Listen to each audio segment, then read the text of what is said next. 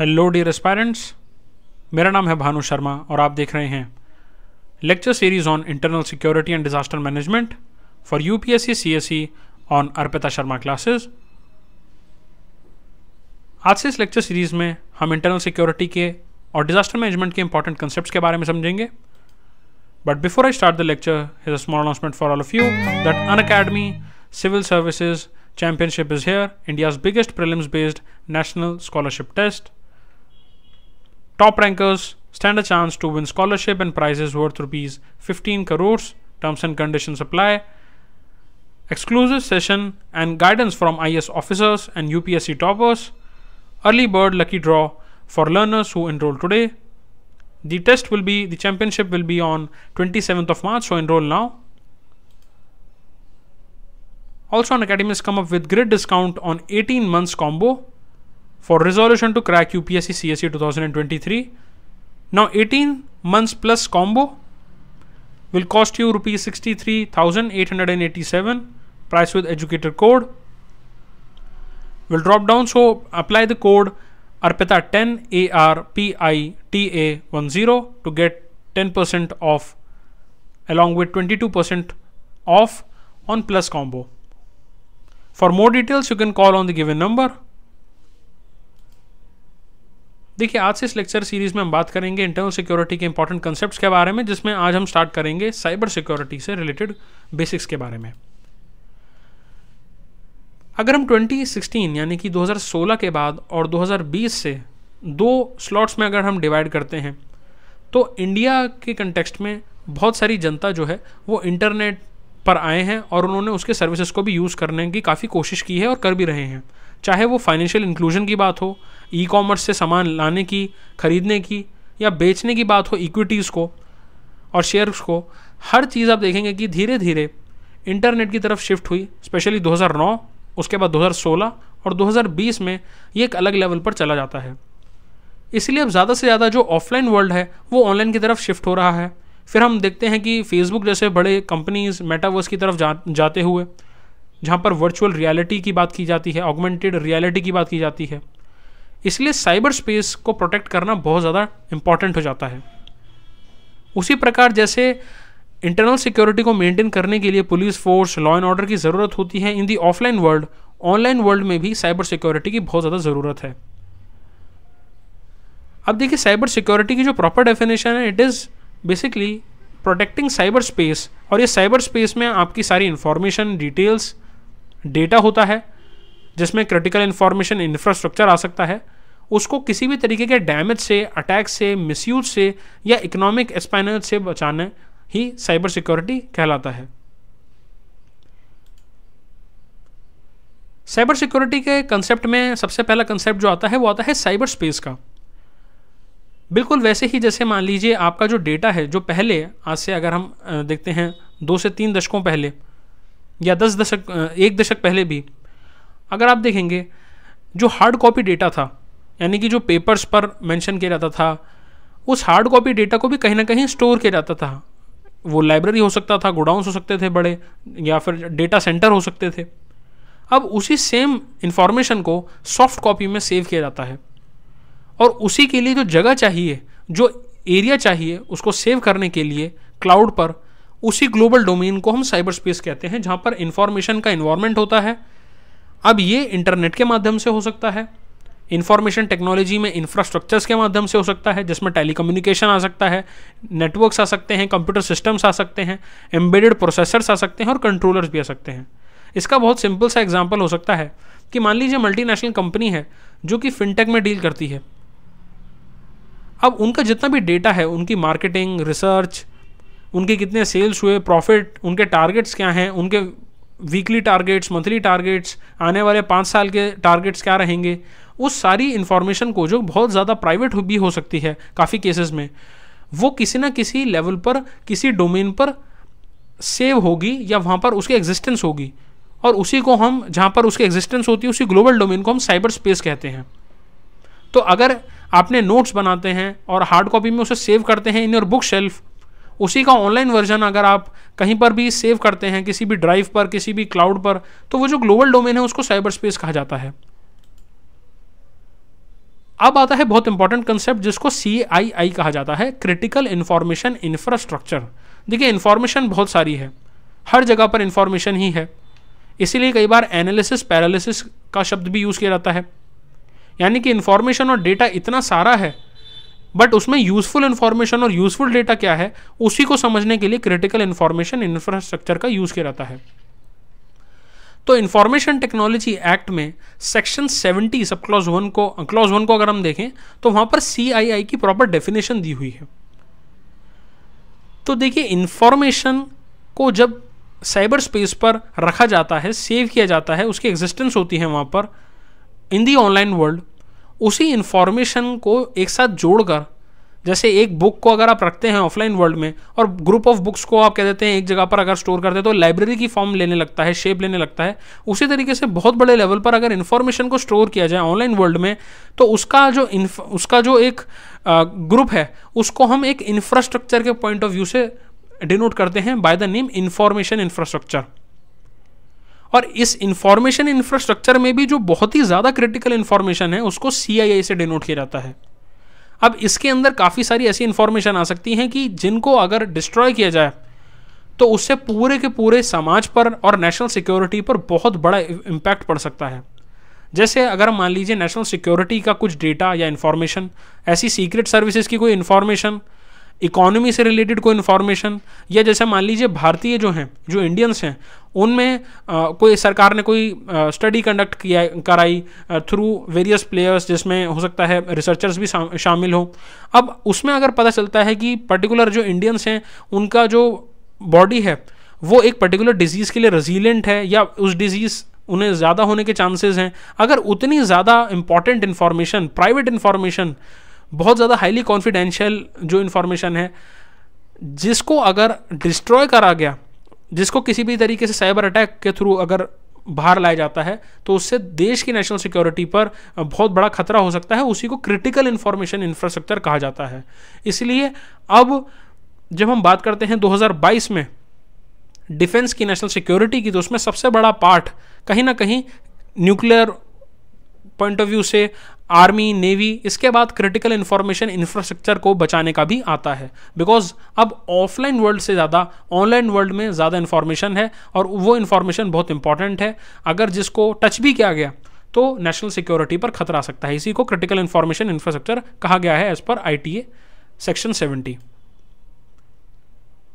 अब देखिए, बात करते हैं साइबर अटैक की। साइबर अटैक की जो प्रॉपर डेफिनेशन है it is a deliberate attempt a malicious attempt अब ये इंडिविजुअल द्वारा भी हो सकता है, किसी एक व्यक्ति द्वारा भी हो सकता है, या उसी तरीके के व्यक्तियों के ग्रुप्स के द्वारा जिनका एक ही माइंडसेट है, एक ही उनका एक डेलिबरेट अटेम्प्ट है, उनका इंटेंट बहुत क्लियर है कि उन्हें किसी भी इंफॉर्मेशन सिस्टम को ब्रीच करना है, जिसकी उन्हें ऑथराइजेशन नहीं है, और उस डेटा को, उसका उन्हें मिसयूज़ करना है। फॉर अनदर इंडिविजुअल और ऑर्गेनाइजेशन उसी को साइबर अटैक कहा जा सकता है। तो सपोज़ कीजिए अगर एक इंडिविजुअल है ए और वो दूसरे इंडिविजुअल बी की सीक्रेट इन्फॉर्मेशन को ब्रीच करके उसका गलत तरीके से फ़ायदा उठाना चाहते हैं तो वो भी साइबर अटैक होगा। अगर एक ऑर्गेनाइजेशन किसी इंडिविजुअल के ऊपर साइबर अटैक करते हैं, ये भी पॉसिबिलिटी है। या ऑर्गेनाइजेशन किसी दूसरे ऑर्गेनाइजेशन पर भी साइबर अटैक कर सकता है, इसकी भी पॉसिबिलिटी होती है। अब बात करते हैं साइबर अटैक्स का मोटिव क्या है इसको क्यों किया जाए? करने के पीछे मोटिव क्या होता है? देखिए इंटेंट और मोटिव जिसको मेन्सरिया भी कहा जाता है साइबर अटैक में बहुत क्लियर होता है। इसका पहला पार्ट आ सकता है कि कमर्शियल गेन के लिए किया जाए। मान लीजिए एक ऑर्गेनाइजेशन है ग्रुप ऑफ़ हैकर्स हैं, जो कि बैंक्स को और फाइनेंशियल इंस्टीट्यूशंस को टारगेट कर रहे हैं, जिससे कि उनको कमर्शियल गेन हो सके। किसी भी नेशन के क्रिटिकल एसेट्स को अटैक करने का भी मोटिव हो सकता है, जो ज़्यादातर स्टेट स्पॉन्सर्ड होते हैं। कॉरपोरेट या मिलिट्री डेटा सर्वर्स के सीक्रेट इंफॉर्मेशन को इंटेलिजेंस को निकालने के लिए प्लान्स को ऑप्टेन करने के लिए, जिससे कि सामने वाले देश को या सामने वाले मिलिट्री को एक डिसएडवांटेज लेवल पर रखा जा सके। ये भी साइबर अटैक के पीछे का मोटिव हो सकता है। कई बार स्पेशली हाल ही के पाँच से छः सालों में ये भी देखने को मिला है not just in India around the world कि काफ़ी ऐसे ग्रुप्स हैं जिनका एक पॉलिटिकल आइडियोलॉजी की तरफ़ ज़्यादा इंक्लिनेशन होता है, और वो पर्टिकुलर दूसरे पार्टी जो पावर में है या जो वेबसाइट्स हैं उस पर्टिकुलर देश में या एरिया में, उन वेबसाइट्स को टारगेट करते हैं और अपना मैसेज कम्युनिकेट कराना चाहते हैं। इसमें कोई कमर्शियल गेन नहीं होता उनको। इन, इसमें वो केवल और केवल सामने वाले कम्युनिटी को नीचा दिखाना चाहते हैं। पॉलिटिक्स के ज़रिए सोसाइटी में अगर मान लीजिए कोई सोशल मूवमेंट है, उसके ज़रिए जब उनका काम नहीं हो पाता है तो वो इस तरीके के साइबर अटैक्स का यूज़ करते हैं। अब समझते हैं कि what are the different types of cyber attacks देखिए, पहला जो टाइप है, उसमें आता है मेलवेयर मेलवेयर दो शब्दों से बनता है मेलिशियस और सॉफ्टवेयर असल में होता यह है कि किसी भी एक सिंगल कंप्यूटर सर्वर पर या कंप्यूटर नेटवर्क पर डैमेज कॉजिंग सॉफ्टवेयर को भेजा जाता है। इसमें सबसे ज़्यादा 2017 के बाद से जो बहुत प्रेवेलेंस जिसमें आई है, वो है रैंसमवेयर तो आप मान लीजिए, आप अपने कंप्यूटर में लॉगिन करते हैं और आपका कंप्यूटर किसी ऑर्गेनाइजेशन ऑर्गेनाइजेशन से जुड़ा हुआ है। जिसमें इंपॉर्टेंट डेटा है, उसके सर्वर को हैक कर लिया जाता है मेलवेयर के द्वारा। और जब तक आप आगे नहीं बढ़ सकते, जब तक आप उसमें एक रैंसम ना दे दें, यानी कि ऑलमोस्ट ये एक तरीके से ऑनलाइन साइबर किडनैपिंग की तरीके का ही है। जैसे मान लीजिए किडनैपिंग में होता यह है कि अटैकर जो है, वो हॉस्टेज के लिए पैसे की मांग करते हैं कि अगर आपको हॉस्टेज जिनको हमने हॉस्टेज बना अगर आप उन्हें वापस चाहते हैं तो आपको पैसे देने होंगे रैनसम पे करना होगा। उसी तरीके से रैंसम एक ऑनलाइन वर्जन है। इसमें और भी वर्जन आते हैं। जो मेलवेयर में आता है लाइक स्पाइवेयर वॉर्म्स वायरसेस भेज देना ट्रोजन्स भेज देना कंप्यूटर सिस्टम नेटवर्क में these all are the varieties of malware उसके बाद एक और तरीके का साइबर अटैक आता है, जिसको कहा जाता है फिशिंग इसमें देखिए होता यह है, ये भी काफ़ी बड़ा काफ़ी बड़ा है 2012-13 के बाद से हाल ही के ही सात आठ सालों में, जहाँ पर डिसेप्टिव ईमेल्स भेजे जाते हैं और वेबसाइट्स के लिंक्स भेजे जाते हैं सोशल मीडिया के थ्रू भी हो सकता है इंडिविजुअल्स से पैसा लेने के लिए या उनकी पर्सनल इन्फॉर्मेशन को गैदर करने के लिए तो ये बहुत डिसेप्टिव ईमेल्स होते हैं। फॉर एग्जांपल आपकी, जैसे मान लीजिए, कई बार ऐसे ईमेल्स आते हैं कि आपकी लॉटरी लगी है, अगर आपने इसको आने वाले दो घंटे में अगर इस लिंक को क्लिक नहीं करा तो ये लिंक एक्सपायर हो जाएगा। इस तरीके से काफ़ी ईमेल्स और लिंक्स आते हैं। अगर आपने उस पर क्लिक करा तो आपकी जो पर्सनल इन्फॉर्मेशन है, उस पर खतरा हो सकता है, वो कहीं ना कहीं और भेजी जा सकती है। काफ़ी केसेस में फिशिंग और मेलवेयर एक साथ भी काम करते हैं। तो ज़रूरी नहीं साइबर अटैक एक अलग अलग ही होंगे। कई बार फिशिंग मेलवेयर के साथ भी काम करता है। उसके बाद टाइप्स ऑफ़ साइबर अटैक्स में अगला जो आता है, वो आता है डी ओ एस यानी कि डिनाइल और सर्विस अटैक एक तरीके का ऐसा अटैक होता है, जिसमें आप एक पर्टिकुलर नेटवर्क या मशीन को खत्म कर देते हैं शट डाउन कर देते हैं एक टाइम के लिए इनएक्सेसिबल बना देते हैं। फॉर एग्ज़ाम्पल सपोज़ कीजिए बहुत सारे लोग एक सरकारी वेबसाइट पर विज़िट कर रहे हैं फॉर सम रीज़न कोई भी रीज़न हो सकता है, जैसे मान लीजिए कोई इन्फॉर्मेशन है, किसी किसी तरीके का हेल्प सरकार ने निकाली है। एक वेबसाइट के थ्रू। अब डीओएस में होगा ये कि बहुत बड़े लेवल पर किसी वेबसाइट की अगर जो लिमिट है ऑफ़ विजिटर्स वो हंड्रेड है एट अ पर्टिकुलर टाइम तो उस वेबसाइट के ऊपर हंड्रेड की बजाय विजिटर्स का काउंट एक लाख या दस लाख तक बढ़ा दिया जाएगा, जिसकी वजह से ज़्यादा से ज़्यादा जो वेबसाइट है वो पूरी तरीके से हैंग हो जाती है और वो क्रैश हो जाती है विच ट्रिगर्स अ क्रैश जिसकी वजह से होगा ये कि जो लोग हैं वो एक्सेस नहीं कर पाएँगे उस वेबसाइट को और सारा प्रोसेस हॉल्ट पर चला जाएगा, बहुत जिससे काफ़ी पैसे का भी नुकसान होता है। डीओएस को कराने के लिए ज़्यादातर इंडिविजुअल्स या इवन ऑर्गेनाइजेशन जो हैकर्स हैं या क्रैकर्स हैं, वो इसमें ज़्यादा यूज़ करते हैं इसको। उसके बाद आता है man in the middle attacks जिसको M I T M attacks भी बोला जाता है।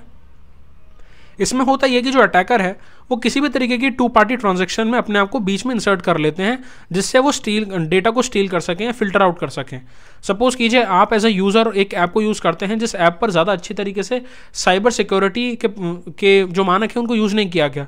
तो आपने किसी, आपने उस ऐप के ऊपर अपना डेटा को यूज़ किया, आपने अपने फोटोग्राफ्स को अपलोड किया, और अगर आपने गलती से भी उस पर एम अगर हो जाता है तो वहाँ पर अटैकर आकर आपके और आप जो कि यूज़र हैं और ऐप जिसको आप यूज़ कर रहे हैं, उसके बीच में आपका डेटा स्टील कर सकते हैं फ़िल्टर कर सकते हैं। उसके बाद साइबर अटैक में एक और पार्ट एसक्यूएल इंजेक्शन का भी आता है, जिसको एसक्यूएल इंजेक्शन भी कहा जाता है। देखिए, जिन्होंने भी कंप्यूटर साइंस को समझा है, या कभी ना कभी कंप्यूटर को पढ़ा है तो वो जानते हैं कि एसक्यूएल जो है, वो स्ट्रक्चर्ड क्वारी लैंग्वेज एक प्रोग्रामिंग लैंग्वेज होती है। काफ़ी वेबसाइट्स के डेटाबेसिस के लिए कम्युनिकेट करने के लिए इस प्रोग्रामिंग लैंग्वेज को यूज़ किया जाता है। एसक्यूएल इंजेक्शन उसी कम्युनिकेशन नेटवर्क को ख़राब कर देता है। So SQL injection attack specifically target such such kind of servers using a malicious code आप एसक्यूएल इंजेक्शन में और क्रॉस साइट स्क्रिप्टिंग में इन दोनों चीज़ों में फ़र्क है। क्रॉस साइट स्क्रिप्टिंग और एसक्यूएल में एसक्यूएल में जहाँ पर पूरा का पूरा वेबसाइट को ख़राब कर दिया जाता है मेलिशियस कोड की वजह से। क्रॉस साइट स्क्रिप्टिंग में वेबसाइट को ख़राब ना करने की बजाय जो विजिटर हैं, उनके जो यूज़र है, जो ब्राउज़र को वो यूज़ कर रहे हैं, उस पर अटैक किया जाता है। तो फॉर एग्जांपल, अगर एक वेबसाइट के ऊपर एसक्यूएल इंजेक्शन आता है तो वेबसाइट अटैक हो जाएगी, उस पर मलिशियस कोड आ जाएगा, वो वेबसाइट चल नहीं पाएगी। उसका डेटाबेस खराब हो सकता है। बट वहीं पर अगर क्रॉस साइट स्क्रिप्टिंग है किसी वेबसाइट के ऊपर तो वेबसाइट तो खराब नहीं होगी। बट अगर आप एज ए यूज़र चला रहे हैं उस वेबसाइट को, अपने ब्राउज़र पे, जो कि सफारी हो सकता है फायरफॉक्स हो सकता है ओपेरा हो सकता है ओपेरा मिनी ब्राउज़र हो सकता है गूगल क्रोम हो सकता है तो आप, क्योंकि उस ब्राउज़र को चला रहे हैं तो आपके पास वो अटैक या मेलिशियस कोड जो है इंजेक्ट हो जाएगा, जिससे आपके फ़ोन या आपके लैपटॉप या आपके पीसी को ख़राब काफ़ी डिस्ट्रक्शन का सामना करना पड़ सकता है डेटा लॉस हो सकता है। ऐसे ही एक और साइबर अटैक आता है, जिसको सोशल इंजीनियरिंग कहा जाता है which is an attack that relies on human interaction to trick users into breaking security procedures in order to gain sensitive information that is typically protected. ज़्यादातर सोशल इंजीनियरिंग को use किया जाता है against individuals और वहाँ पर भी banking system में काफ़ी इसको यूज़ किया जाता है, जहाँ पर मॉनिटरी गेंस या कमर्शियल गेंस हो सकता है। अब हम बात करते हैं कि हमने यहाँ पर बात करी what are the different types of malwares and attacks अब बात करते हैं जो साइबर थ्रेट है मोटिव के आधार पर वो किस किस तरीके के होते हैं। देखिए, इसमें सबसे पहला आता है cyber espionage which is the practice और act of obtaining secret information अब देखिए, काफ़ी बार सीक्रेट इन्फॉर्मेशन बड़े बड़े पब्लिक ऑफिसर्स की जो हेरार्किकल लेवल में ऊपर की तरफ़ हैं, या सेलिब्रिटीज़ की पर्सनल सेंसिटिव इन्फॉर्मेशन हो सकती है। सपोज़ कीजिए कोई बहुत बड़े मिनिस्टर्स हैं, जिनकी कुछ मेडिकल केस स्टडी है, या फिर किसी भी तरीके से ऐसी इन्फॉर्मेशन है जो बहुत प्राइवेट है। जो बाहर नहीं आनी चाहिए बट वो पर्सनल सेंसिटिव इन्फॉर्मेशन को साइबर स्पेनेज के दौरान बाहर कर दिया जाता है वायरल कर दिया जाता है, जिससे काफ़ी ज़्यादा नुकसान हो सकता है। ये कंपेटिटर्स की इन्फॉर्मेशन भी हो सकती है। तो सपोज़ कीजिए अगर एम एन सी वन है और एम एन सी टू है, और इन दोनों ही एम एन सीज में मल्टीनेशनल कंपनीज़ में एक तरीके से काफ़ी कंपेटिटिव इन्वायरमेंट है तो एक दूसरे के ऊपर ज़्यादा बढ़ने की वजह से प्रॉफिट ज़्यादा अगर किसी दूसरी कंपनी को करना है और आगे बढ़ना है रेस में कंपटीशन को बीट करना है। ऐसे केस में केस में भी कई बार साइबर एस्पेनेज जैसी चीज़ों का यूज़ किया जाता है। मोटिव सिंपल होता है। यहाँ पर ट्रोजन हॉर्सेज या स्पाईवेयर्स को भेजा जाता है जिससे सीक्रेट इन्फॉर्मेशन को ले लिया जा सके। अगेंस्ट दी नेशनल सिक्योरिटी उसके बाद साइबर अटैक आता है। जैसे मैंने आपको बताया कि इसमें कम्युनिकेशन नेटवर्क को डिस्ट्रॉय किया जाता है। इसकी बात मैं पहले भी कर चुका हूँ। That it is to damage और डिस्ट्रॉय टारगेटेड कंप्यूटर नेटवर्क और सिस्टम ये सिस्टम एक पर्टिकुलर मान लीजिए, एक कंपनी है, उनका एक खुद का नेटवर्क सिस्टम है। उनकी ब्रांचेस बेंगलोर में भी हैं, दिल्ली में भी हैं, मुंबई में भी हैं, पुणे में भी है, कोलकाता में भी हैं। तो या तो उसको कंपनी को पूरी तरीके से, उसका जो नेटवर्क सिस्टम है, उसको डिस्ट्रॉय करने की बात हो, या फिर ये भी हो सकता है कि एक एक, मान लीजिए, एक होटल है, उनका एक सिंगुलर प्रॉपर्टी है, वहीं पर उनका जो कंप्यूटर नेटवर्क है, उसको खराब करने की बात है। तो साइबर अटैक दोनों ही लेवल पर काम कर सकता है। इनफैक्ट ये बड़े बड़े लेवल पर सबसे ज़्यादा जो अभी हम हाल ही में देखते हैं प्रेवेलेंस अगेंस्ट साइबर सिक्योरिटी, वो साइबर अटैक्स की ही है। उसके बाद आता है साइबर टेररिज्म। देखिए, साइबर अटैक्स को अगर हम स्टेट स्पॉन्सर्ड लेवल पर जोड़ दें, जिससे नेशनल सिक्योरिटी को खतरा हो, जिसमें टेररिस्ट अटैक्स को प्लान करना, प्रोपोगेंडा को स्प्रेड करना, जिससे लोगों को रेडिकलाइज करा जा सके और दंगे भड़काए जा सकें सिंपथाइजर्स के लिए रिक्रूटमेंट करना फंड रेजिंग जुटाना टेररिज्म के लिए टेररिस्ट एक्टिविटीज़ के लिए, इसको साइबर टेररिज्म कहा जाता है। आप ऐसे समझ सकते हैं कि अगर साइबर अटैक जो है उसका एक मोटिव होता है टू गेट अ रिज़ल्ट जो शॉर्ट टर्म हो सकता है।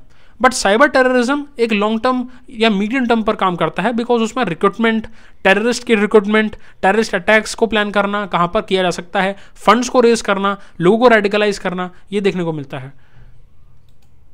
उसके बाद cyber warfare is also there जहाँ पर थेफ्ट या वेंडलिज्म होता है। देखिए वेंडलिज्म ऑफलाइन वर्ल्ड में, मान लीजिए कोई मोन्यूमेंट है या फिर कोई एरिया है, उसको वेंडलाइज अगर कर दिया जाता है तो यानी कि उसको तोड़ दिया गया या फिर उसको ख़राब कर दिया गया। बट ये ऑनलाइन वर्ल्ड में जो वेंडलिज्म है, ये वेब पेजेस को डिफेस कर दिया जाता है। सपोज़ कीजिए, सरकार का बहुत इंपॉर्टेंट पेज है, किसी मिनिस्ट्री का बहुत इंपॉर्टेंट पेज है, जिस पर लोग ज़्यादा से ज़्यादा विजिटर्स आएँगे साल के एक पर्टिकुलर टाइम में। जैसे मान लीजिए बजट के टाइम पे। अगर उस पर्टिकुलर वेबसाइट को डिफेस कर दिया जाए तो उसका वेब पेज जो है, वो इनएक्सेसिबल हो जाएगा। यानी कि पेजेस कटे हुए और बहुत अजीब से आकार के देखने को मिलेंगे। इसमें क्रिटिकल इंफॉर्मेशन इंफ्रास्ट्रक्चर को डिस्ट्रक्शन डिस्ट्रॉय भी किया जा सकता है। प्लस साइबर वॉरफेयर के साथ ही फिशिंग को भी जोड़ा जा सकता है। यानी कि अगर आपने किसी सरकारी वेबसाइट को खोले और अगर वो सरकारी वेबसाइट पर वेंडलिज्म हो चुका है, यानी कि उसके वेब पेजेस डिफेस कर दिए गए हैं और आप उसको एक्सेस करते हैं एज ए यूज़र तो और आपको आपके फ़ोन में भी वायरसेस आ सकते हैं। तो ये साइबर वॉरफेयर का हिस्सा है। देखिए, इससे इम्पैक्ट ये होता है, सबसे बड़ा इम्पैक्ट आता है कॉन्फिडेंशियलिटी पर। बिकॉज़ अब जो लड़ाई है, वो एक अलग लेवल पर पहुँची हुई है नेशनल सिक्योरिटी के लेवल पर, जहाँ पर कॉन्फिडेंशियलिटी या डेटा को प्रोटेक्ट करना सबसे इंपॉर्टेंट है। अगर फाइनेंशियल लॉस के पर्सपेक्टिव से हम बात करें data security council of India के तहत India has been the second most cyber attacks affected country between 2016 to 18 इसे आप देखेंगे कि साइबर क्राइम्स की वजह से ऑलमोस्ट अराउंड 1.25 लाख करोड़ का लॉस हुआ था इंडिया को 2019 में। आप इस डेटा को मेन आंसर राइटिंग में भी यूज़ कर सकते हैं। अब अगर देखिए, अगर प्रोपोगेंडा होता है, या फिर इंस्टेबिलिटी या ऑर्डर को खराब करने की बात की जाती है तो उससे नेशनल सिक्योरिटी और पीस पर कहीं ना कहीं फ़र्क पड़ता है। और अगर पीस पर फ़र्क पड़ेगा तो स्टेट पर फ़र्क पड़ेगा गवर्नमेंट की फंक्शनिंग पर फ़र्क पड़ेगा, और वो फिर मल्टीप्लाइंग इफ़ेक्ट में चला जाता है।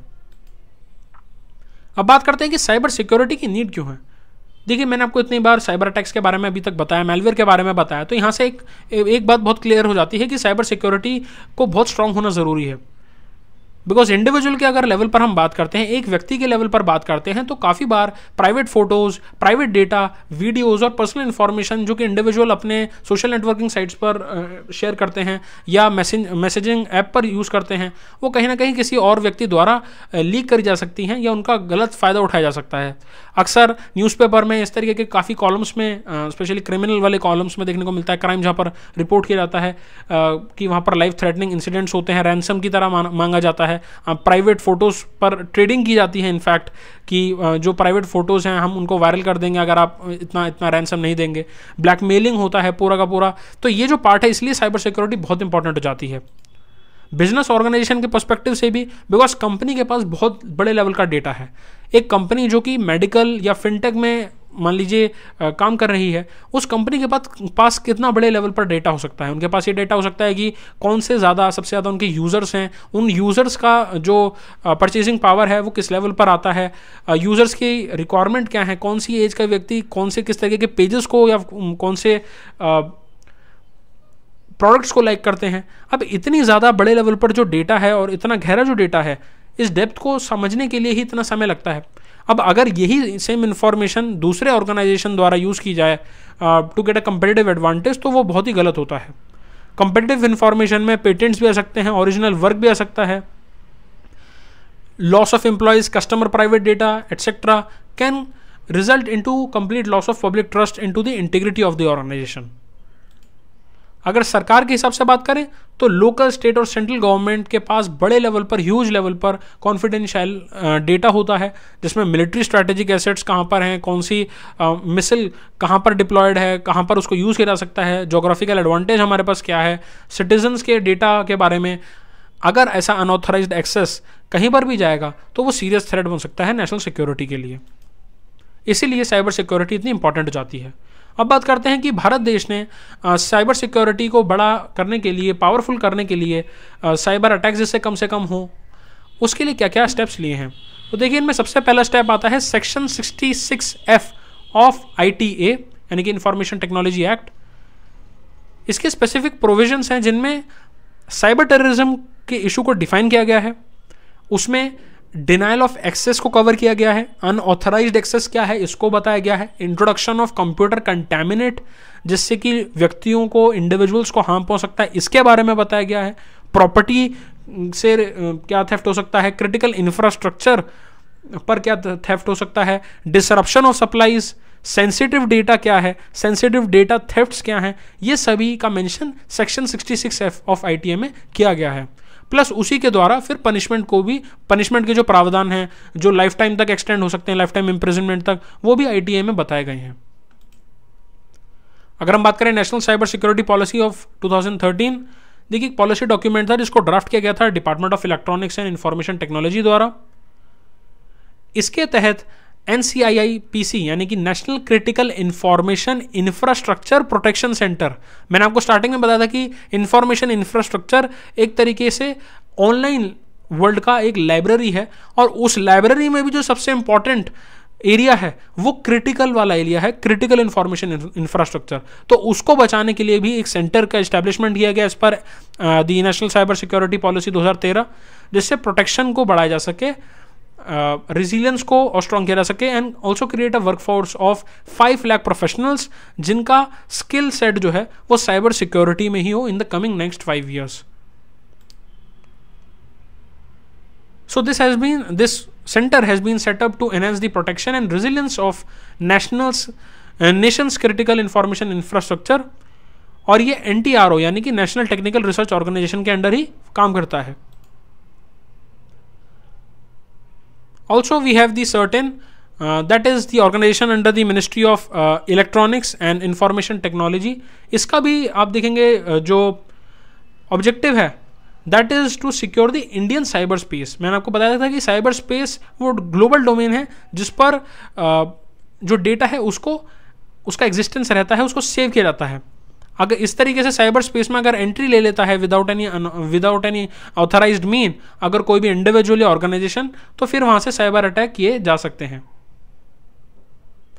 The purpose of it is to respond to computer security incidents report on vulnerabilities यानी कि कौन कौन से एरियाज़ हैं जहाँ पर हम वलनरेबल हो रहे हैं, और आईटी सिक्योरिटी प्रैक्टिसेस को और ज़्यादा इफ़ेक्टिव बनाया जा सके।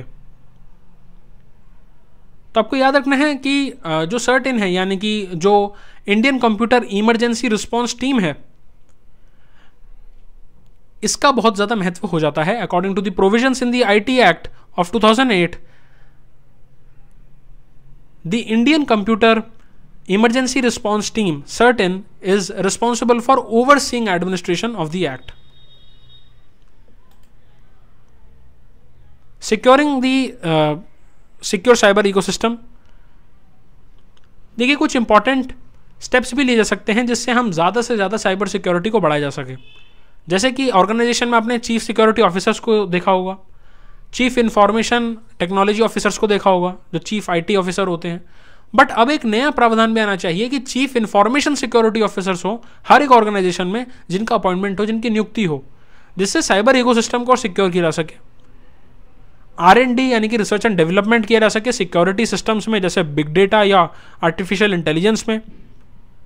Earmark certain percents of funds towards enhancing cyber security because बगैर फंड्स के आप साइबर सिक्योरिटी प्रोवाइड नहीं कर सकते। Provide tax incentives to companies जो कि ज़्यादा से ज़्यादा इंफॉर्मेशन इंफ्रास्ट्रक्चर पर काम करती हैं, अब अपग्रेड करती हैं इसको तो इससे काफ़ी फ़ायदा होगा।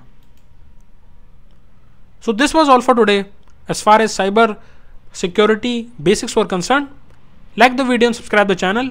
In case if you have any doubt, you can comment down below. An Academy, let's crack it.